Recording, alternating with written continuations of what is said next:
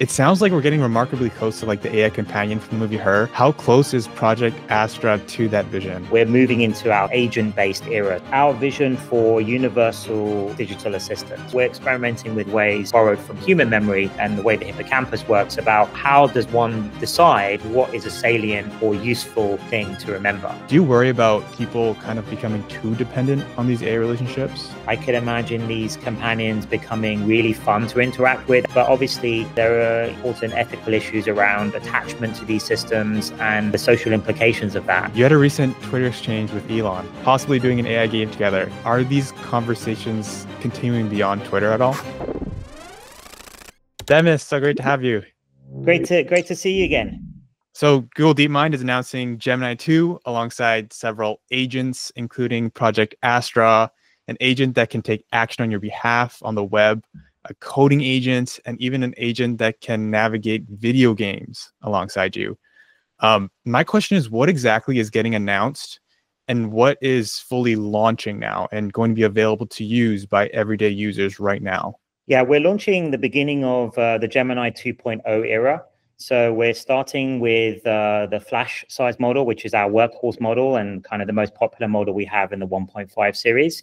And um, and it's going to be the beginning of us rolling out our 2.0 models. Uh, and the 2.0 models are have um, a lot more new capabilities uh, and also uh, incredible performance for their sizes and uh, and their costs and latency. So, for example, 2.0 Flash, which we're very proud of, uh, is about as powerful as the 1.5 Pro. So you're kind of getting an entire tier of performance extra uh, for the same kind of size and and, and speed. So um, so we think that, you know we're really excited to see what developers are going to do with it. It's going to be accessible uh, straight away in experimental form in AI Studio, and also we'll be upgrading the the Gemini app uh, uh, with it under the hood as well. Excellent, and this is very exciting. How do the benchmarks specifically? How did the benchmarks of Flash hold up against the big version of Gemini 1.5 Pro? Yeah, so the benchmarks are, are, are looking extremely good for the 2.0 series. So Flash, for example, uh, is is you know pretty much across the board, roughly equivalent to uh, the much bigger 1.5 Pro model. So we're very excited that uh, what that's going to unlock downstream in terms of products and and of course our own use cases internally at Google of serving billions of users with uh, with these models, uh, things like AI overviews and um, doing that at scale. So uh, we're, we're really excited about what that's potentially going to unlock. So alongside Gemini 2, Project Astra is is coming out. Uh, I'm very very excited about Project Astra. Um, so we've kind of seen like the chat chatbots, we've seen voice assistants, but Project Astra is like a massive leap because it's like this co-intelligence that can actually see, hear, and understand your world in real time and be there with you kind of all the time. Uh, yeah. It sounds like we're getting remarkably close to like the AI companion from the movie Her. How close is Project Astra to that vision? Yeah, Project Astra, which we sort of teased at I/O last year, this year, earlier this year, is um, our vision for universal digital assistant. Right, that's what we call it. And um, actually, that's what the 2.0 series of Gemini models is going to underpin is uh, what, what we're moving into our sort of agent-based era, uh, so to speak. So that's what we think uh, we're going to be, you know, the big part of next year is going to be about is agent-based systems. And uh, that can actually carry out things in the world for you, complete tasks, reason, plan, and act uh, in the world. Uh, and of course, we've got a rich heritage of doing that with our games work Uh, uh, uh, at DeepMind for a long time. You know, most famously, I guess, AlphaGo. And I think those kinds of ideas and systems are going to come back to the fore, along with the big foundational models getting increasingly sophisticated and more and more multimodal, almost becoming world models. Um, and that's the direction that we're going in with Gemini. And I think uh, the prototypes we're showing, uh, uh, uh we're going to be showing uh, in along with the 2.0 uh, um, release is things like Project Astra showing what a universal assistant out in the real world can do for you, understand the world around you in form factors like your phone, but also on glasses. Um, and I think that's going to be a really critical part of an, a digital assistant being useful to you in your everyday life. Uh, and then we're also going to show agent-based kind of behaviors in Project Mariner, our new project, where um, I think it's the future of computer control and having these systems be able to understand what's on your browser and the interface and and a kind of new UI in a way of using uh, uh, the web. Uh, and then fun things like you mentioned of um, Gemini for games, where you know you can just screen share your Android screen, and it's like a game companion. It can be a tutorial, advise your strategies on any of the games that you're working on. Wow, there's a lot to digest there.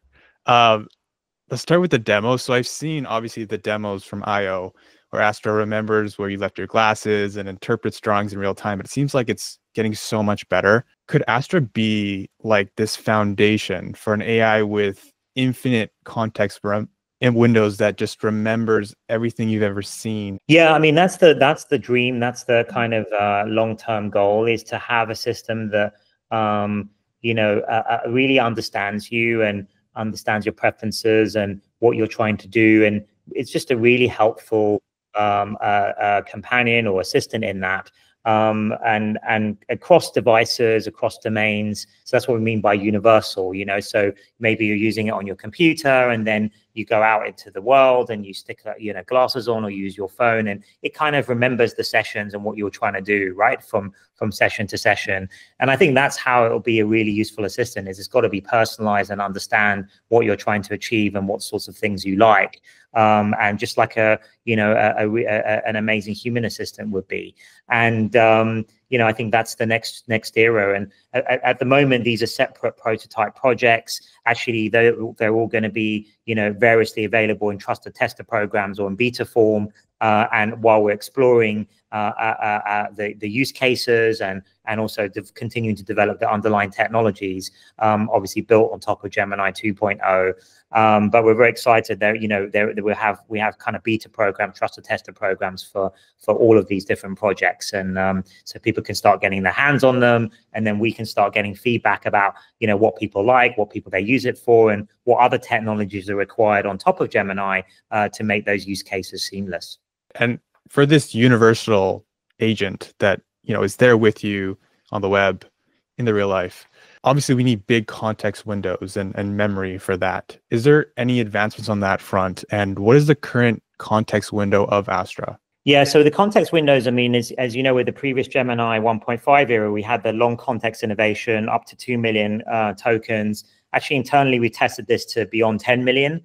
Um, so at this point, we can effectively make it arbitrarily big, but um, it comes at a, a, cost of speed, right? So the larger you make the memory, the more costly it is to search that memory and find things in it, um, and then that that that that increases the latency and also the overall cost of running that model. We have some new innovations that we're working on that will increasingly uh, uh, sort of exponentially reduce the cost of larger and larger models, so that eventually you know, I think over the next uh, uh, pretty short amount of time, we'll we'll have effectively infinite context. Um, and then the interesting thing comes is like you know getting some inspiration from human memory where you don't just remember everything. That's a bit inefficient, right? What you want to remember are the important and salient things you know so uh, the things that are going to be important for planning and and and imagining the future uh, and so or sentimental in some way or important in some other way. And so you, we, we're, we're experimenting with ways sort of borrowed from human memory um, and and the way the hippocampus works about uh, how does one decide what is a salient or useful thing to remember? Um, and then that will uh, immediately increase the efficiency of these uh, long contexts as well what do you think the ideal form factor is for Project Astra? I know you mentioned your phone, possibly yeah. glasses, or is there something else entirely? Yeah, well, actually, this is a fun exploration we're doing. So, for, on your phone, it's most performant because the phone is the most powerful uh, edge device. But it becomes clear actually when you start seeing testers using it that um, that uh, uh, uh there are certain tasks that you you might be interested in doing. So, for example, when you're cooking uh, and you want to ask Astra about you know ingredients or advice about what you should do next in the cooking recipe, or you know give you some opinion about one of the ingredients. Um, uh, uh, you your your hands are usually occupied while you're while you're cooking, and so then uh, it's of it's sort of natural that you would want a different a wearable device that you don't have to hold. Um, so I think this it's quite clear some use cases are going to require devices like glasses, um, and actually the more I've used it, the more we use it internally in sort of dog fooding, we we realize that actually, excitingly, this could be a killer use case for a glass kind of device, right? Which I think in the past has been sort of looking for a really compelling everyday use case. And I think this is actually it. Um, but then why not, you know, one could imagine why stop there? Maybe there are other kinds of new devices, you know, um, brand new ones for this kind of, uh, that would be optimal for this type of um, uh, this type of application and we're thinking about those kinds of form factors too that's super fascinating um, there's something really interesting happening as well with AI companions right now. Mm-hmm. People kind of forming these deep connections with the AI. And now with Astra, you're creating something that's actually present in people's lives, seeing their world, understanding their emotions. Do you worry about people kind of becoming too dependent on these AI relationships? How do you see that kind of playing out?